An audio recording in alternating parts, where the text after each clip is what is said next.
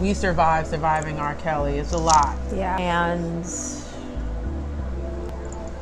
yeah, We're gonna need some of that. So, R. Kelly, you ain't shit.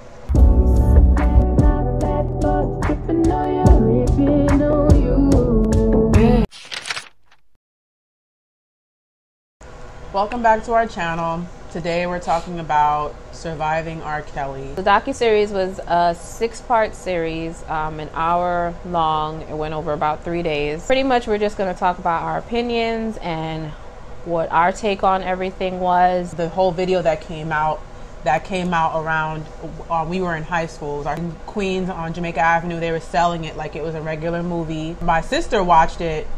It was emailed to her. That was when we would get filth in our emails, like random stuff. Like I didn't saw even some- know we were getting emails at that Yeah. time. Do you remember people used to email weird stuff like I woman having sex with a horse? Yeah, and you'd be like, true. ah. Or the girl from Family Matters, like Yeah. her sex tape was emailed to me. Oh, okay. In my, my like it was like a junk mail kind of thing. I saw it on the VHS tape. That's how old it was. Yeah, and it was very disturbing um, That's to why I watch. watch even it. R. Kelly is a sick man. He needs mental help. Um, and listening to his story of how it pretty much started ever since he was young, with him being molested and you know his brother being molested as well, who he stated as well, his younger brother. know much, but you do believe that Teresa touched him as well. Yes, I do. Yes, I do because, like I said, I can't. I can't say I wasn't there the same time that Robert was there, like in the house where I can actually see. I know what was happening to me, and I know that when I got to go outside, I was so glad, and he couldn't.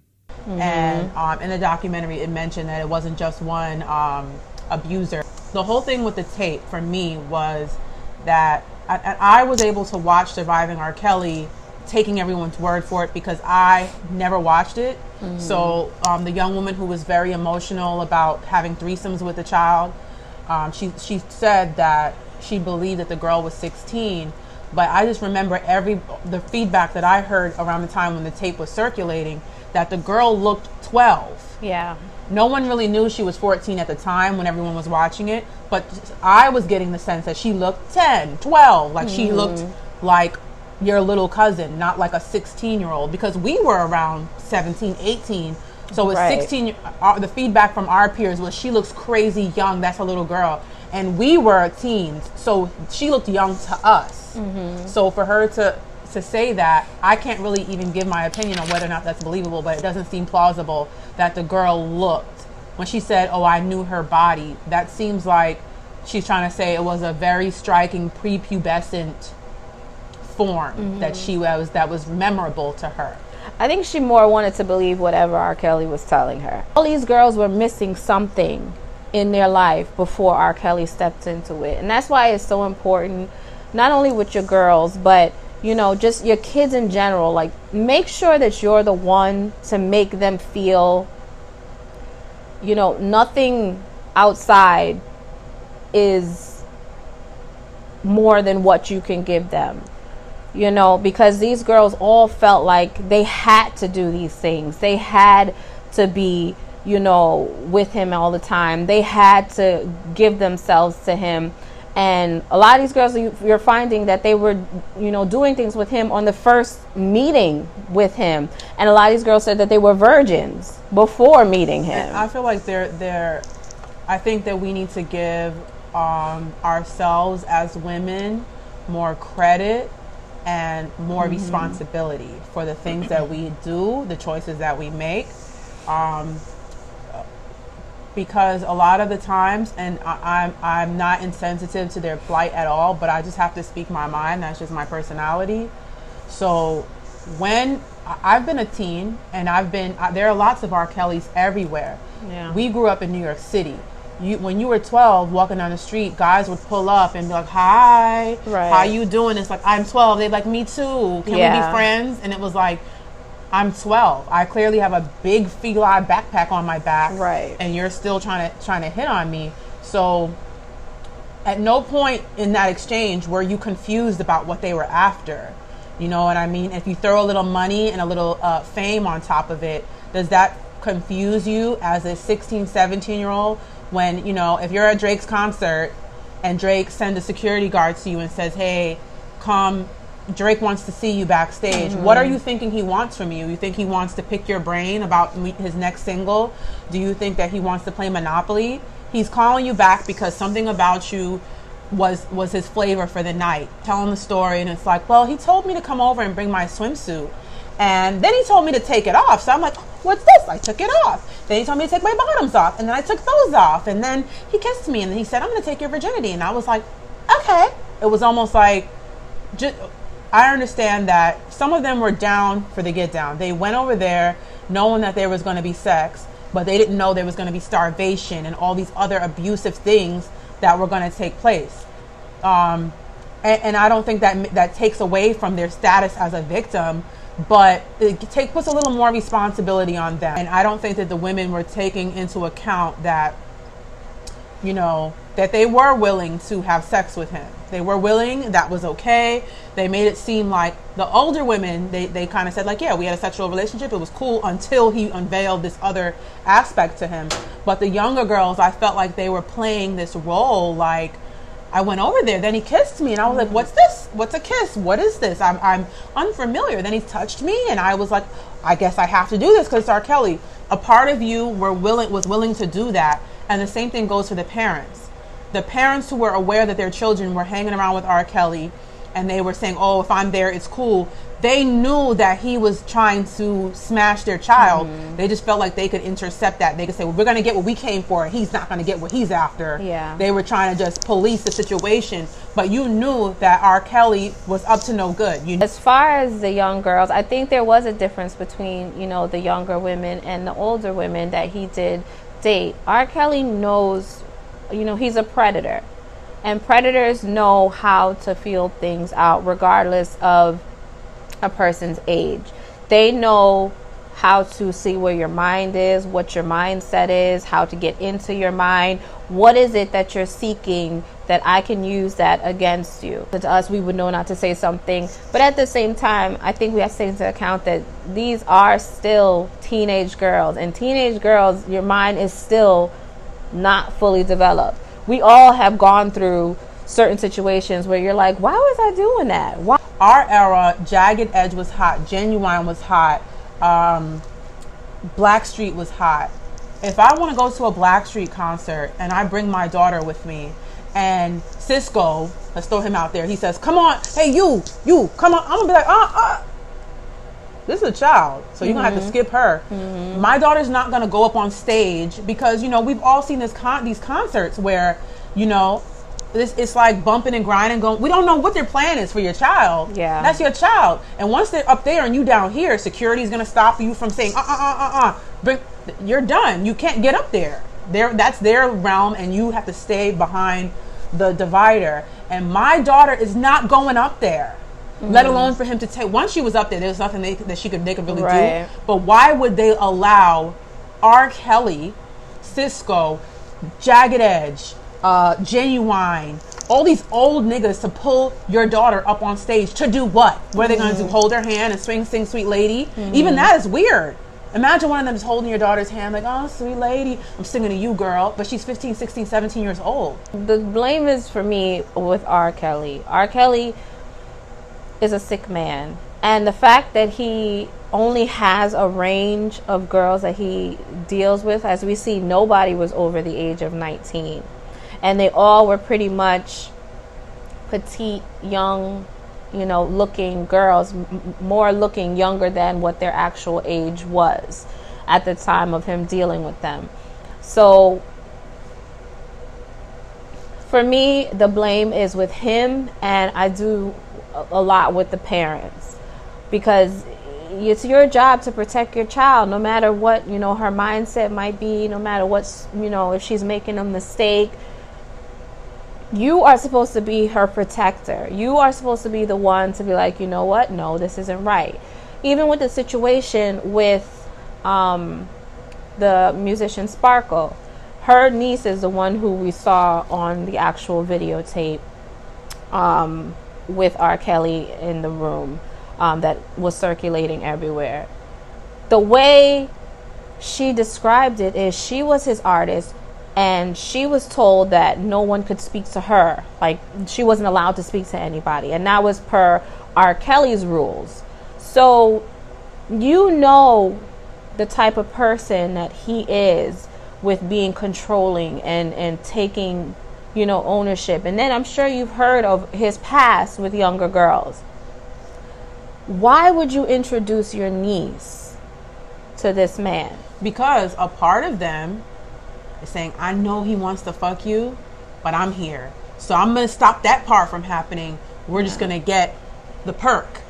yeah so but even I'm gonna like bring my my kid around this creep. I'm just gonna watch though, and make sure he doesn't get what he came for. And when he she saw her niece in the studio, I'm not blaming Sparkle. Right, when I'm she just saw- saying I take mean- responsibility for your part. i know she blames herself like i'm in the walking in industry, there but we've heard that the studio is uh, uh like a man cave, Right. There's thoughts and, and things and- going and he had a bedroom a bed in I'm the not studio dropping my daughter nowhere where there's no My bed. 15-year-old I'm child? staying, and I'm not gonna trust. I trust my sister, but I'm not gonna. When when they're a, a studio with a bed, I'm gonna personally sit. My, first of all, R. Kelly's getting nowhere near. Right. The same thing with Michael Jackson. Kids were still spending the night after the first few allegations, and I'm not saying he was guilty. I'm saying I'm not gonna stake my child's safety on it. Ain't gonna be no no sleepover. Ain't gonna be no Neverland. I'm I'm so creeped out by just the thought of it that he, they don't need to even ride your little roller coaster or pet your monkey. They don't. They they we can go somewhere else where I just feel more comfortable. I get skeeved out even by the slightest inclination that you might even be looking at my child's ass on the walk by. Yeah. Let alone to say I'm gonna see her in police and make sure you don't touch her, even though I know deep down you want to for a song Right. and for her to say, "Well, come, let me introduce you to my niece," and trust that.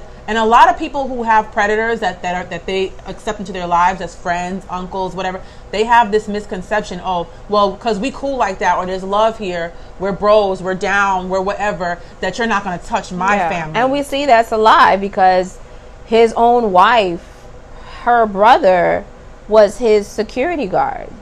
You know, and he was his security guard for many years.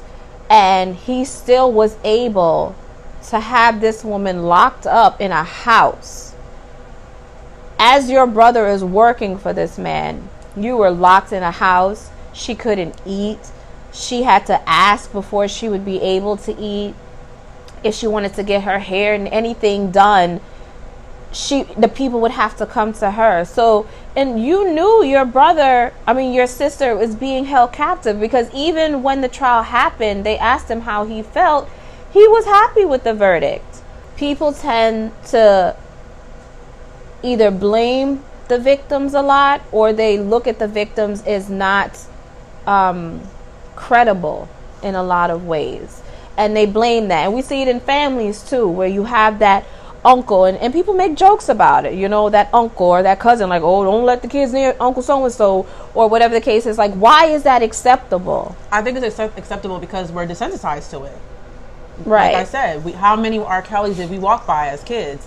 And there were onlookers where the, when the guy was rolling in his car trying to get your number, and Mm-hmm. onlookers didn't say, "Hey, leave those little elementary school girls alone, sicko." Everyone was just cool with it. yeah. And I've never really seen the community stand up and say, "Hey, those are those are middle school girls, sir. Go on about your business." No one intervenes, so it just becomes like everyone know, like to catch a predator. Look at how many priests, lawyers, people from different walks of life walk in there thinking they're going to get with a 14 year old, and And like so many of the other men who ultimately visited us in Fairfax County, Virginia, this guy was a prominent member of society.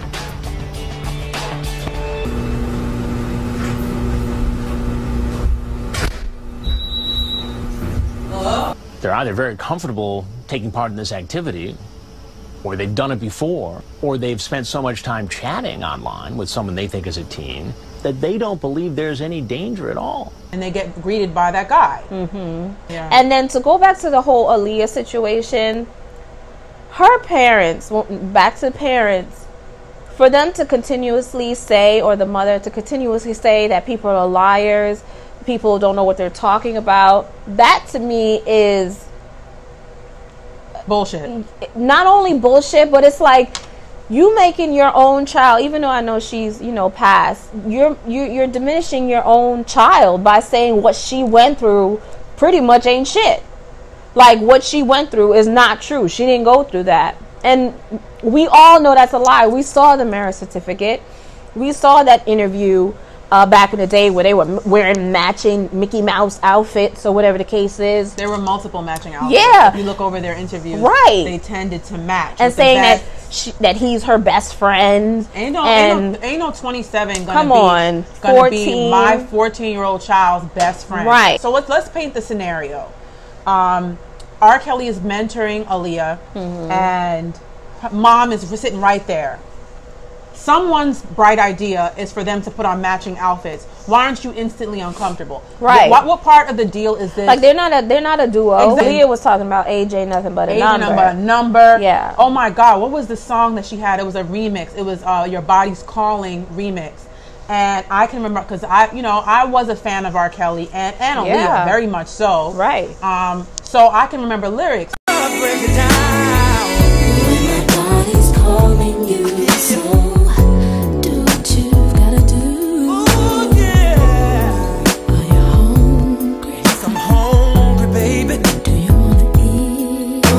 Oral sex. She's like four, 15 years old at that time. This is still Mm-hmm. mid 90s. And he's writing all of this. And that's why no one really cared about R. Kelly and what he was doing because it was a part of our daily lives. That We all knew one girl in junior high school whose boyfriend used to pull up and scoop her, and he was a grown man. And, and, And nobody really said anything. Because that and that man is I do blame him. They're all disgusting, but my point is that how are we safeguarding our children? Because the, we can't we can't lobotomize all the predators. They're out there and they're disgusting. They deserve to be locked up. They deserve to be lobo- And I think that's a lot of the issue is that they they don't feel like there's any consequences to their actions because Right. people dismiss it. People want to call the girls fast. They want to call the girls hoes. They want to talk about their clothes like one of the jurors said. I, I didn't like her their clothes. I didn't like this. I didn't like that. That's why I didn't believe them. Like that And has to stop. probably got on the same clothes. Right. That that has to stop. They have to. We have to stop constantly saying, "Well, the victim did this and this and this and this." The person who is a predator is wrong, and they are the ones. R. Kelly is wrong. He needs to be stopped. He needs to have consequences. People, whoever can still sit there and talk about how they can separate the man from the from the music. There's none of that. I'm not a That's sad. sympathizer at all, and I don't want to convey that. R. Kelly is weird and he is nasty and he is Yes. the scourge. The fact that one of, the those back, earth. background But singers were able to say that she opened a door and saw him having sex with Aaliyah at the age of 14. I believe that. I believe that I that- definitely that believe that. And her mother happened. came on there and tried to say that that she girl was, a liar. with her. Yeah, whether like, or not the girl was true. lying, you clearly. I saw a meme or a tweet that was like, "Oh, you were always with her. Then what'd you wear to the wedding?" Sis? Right.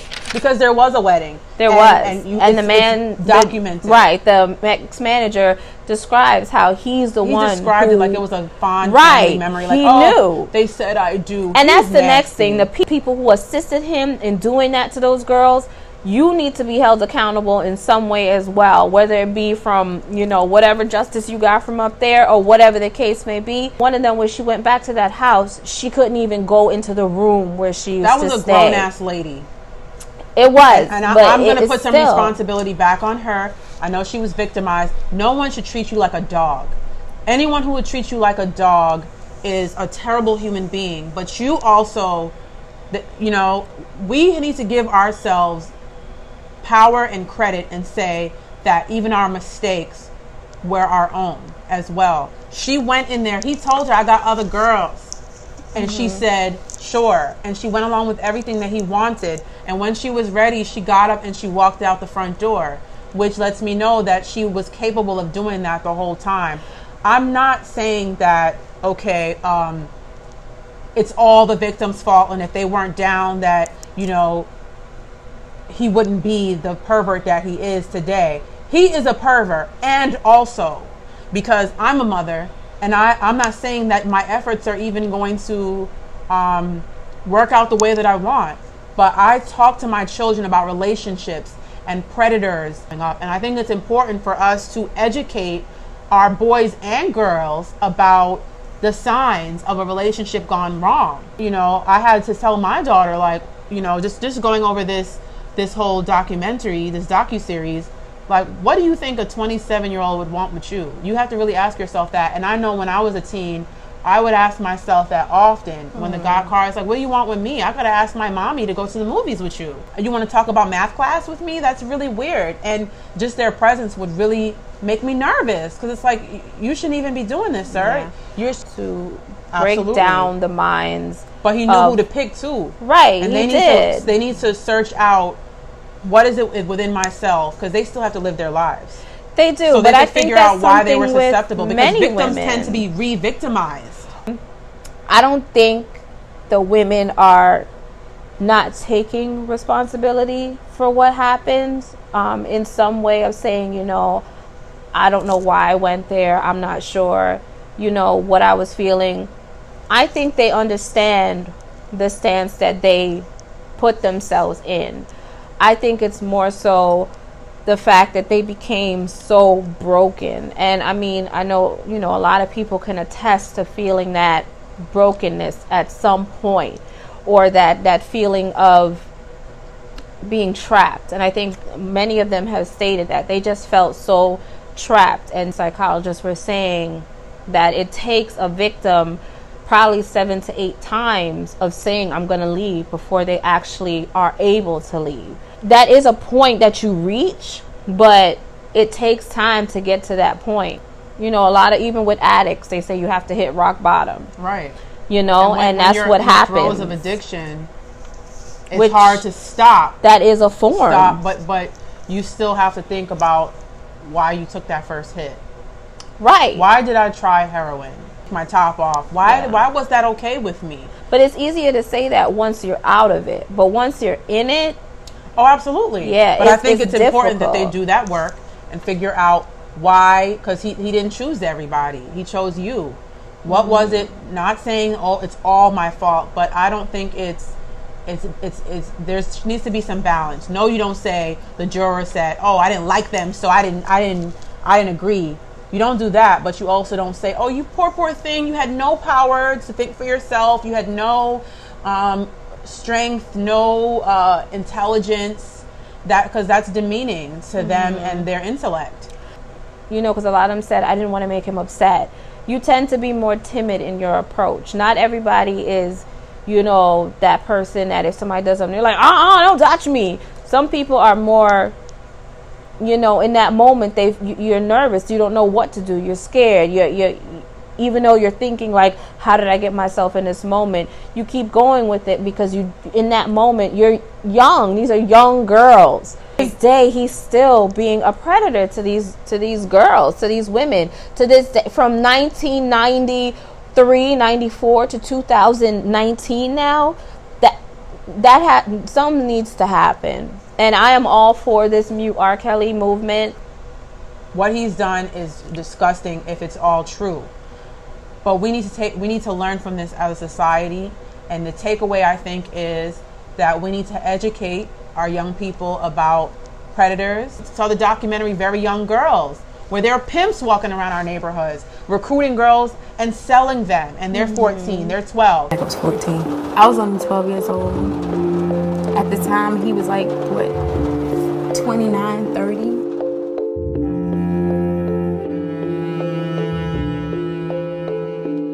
We gonna find a little hoe today, you know what I'm saying? Put on that curtain and make that end, you understand that? So where yours heading to and all that? I want to talk to you more, you know what I'm saying? You got a nice little thing going on, you know what I mean? That's what I'm talking about, yo. Sex trafficking is real. It's not just R. Kelly, it's people down the street from you that are doing these things. And if they're not the pimps, they're soliciting. They're they're going out and getting with young girls that are being forced to work in the sex industry. If you saw a, if you were walking on the street today and a man was hitting on a 13-year-old girl with her pigtails walking down the street, would you say something? The same thing that we're demanding of his circle, are we willing to do it? Are we willing to say, hey, sir, that's a little girl, leave her alone, and write his license plate down and do something about it? Or do we just look and go, mm, he's nasty? As mature as you think your child might be, you still have to be there. You still have to drill it into their head. You still have to be the one to make them feel special. You still you have, have, to snoop to. through their shit. yeah, I mean, you have to look at their text messages. You have to. there. You have to do spot parent. checks. Yeah, you, you, have, to make sure that your child there. You know, you can't just leave them to their own devices because you don't know Right. who got into their mind. it- it's it's a it's a crazy situation um, with this docu series. Like I said, I think we knew all these type of things that were going on with him and the situations and all of that, but we did not hear the actual stories from some of their mouths. And to actually put, I guess, you know, kind of like a picture to what you hear. Now, you know, everything he was doing in the dark is definitely coming to light even more because he's not bringing in, you know, the money that he was at that time. So that lets you know that in that industry, of course, we know money talks, but his money was talking, it was walking, it was allowing him to do things to women that having whole se- sex cults and all sorts of stuff because he was R. Kelly who had money. It's right. crazy. And that's I the wish thing, did feel that way. Even even um his wife, I'm not sure why she still maintains his last name. Um, I'm not Yeah, sure. that's what a lot of And- people and were she, She wondering. before this whole thing hit the fan, before the girls started coming forward about the cult, she was very proud to be his ex-wife. Yeah.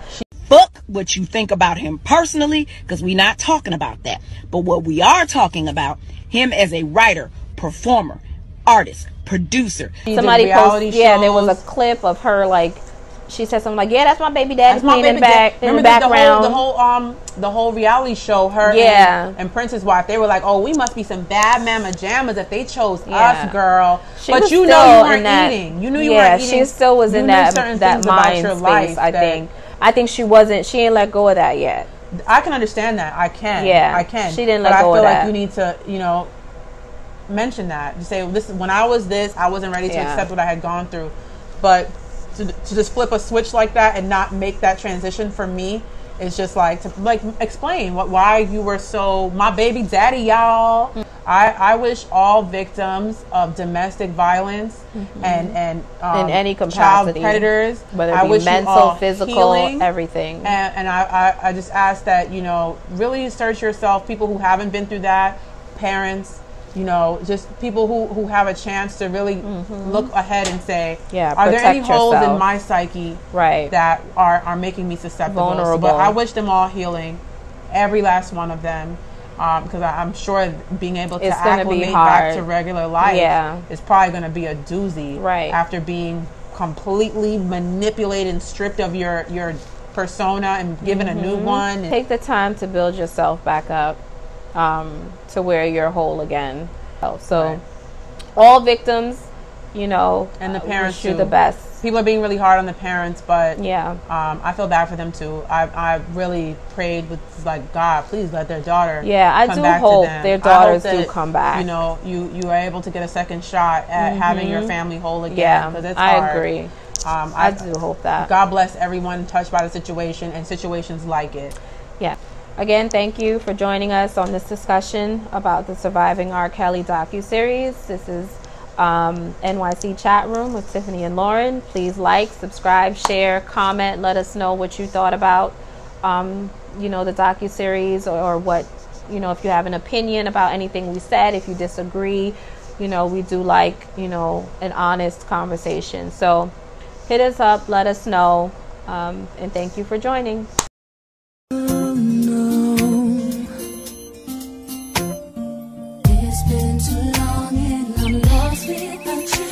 my cool.